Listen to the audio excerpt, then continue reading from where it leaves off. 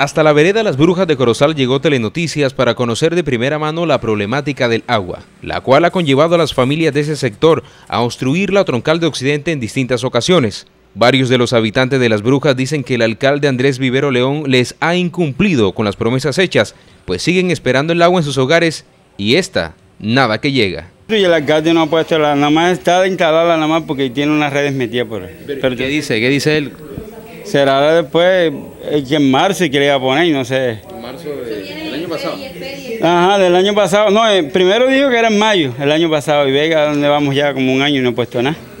A la falta de agua en la vereda, las brujas no se escapa nadie. Esta mujer de la tercera edad dice que a diario tienen que comprar el preciado líquido, gastándose sumas mayores, a lo que generalmente viene una factura de ese servicio en el municipio de Corozal. Tenemos que comprarla. La compramos en el reposo porque el tanque viene muy tarde y no es suficiente. 15 tarritos para uno dura 8 días con esos tarros de agua. ¿Cuántas hay, personas? Hay que comprarla. Aquí somos 6. ¿Para demorar cuántos días? Ahí ahora vino, tenía 12 días que no venía. Y vino ¿Por, qué han, el jueves. ¿Por qué han protestado ustedes aquí varias veces? Porque nosotros queremos tener ese servicio. Si merecemos tenerlo.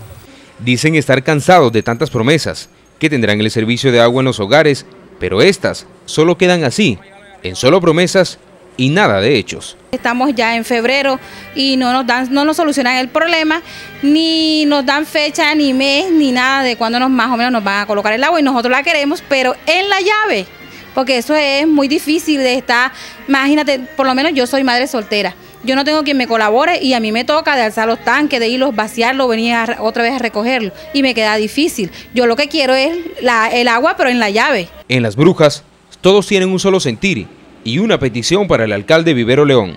Nos arregla el problema del agua, es lo único que necesitamos después. En adelante, quién sabe qué será, pero ahora necesitamos el agua, porque uno sin el agua no es nada. Telenoticias para estar bien informado.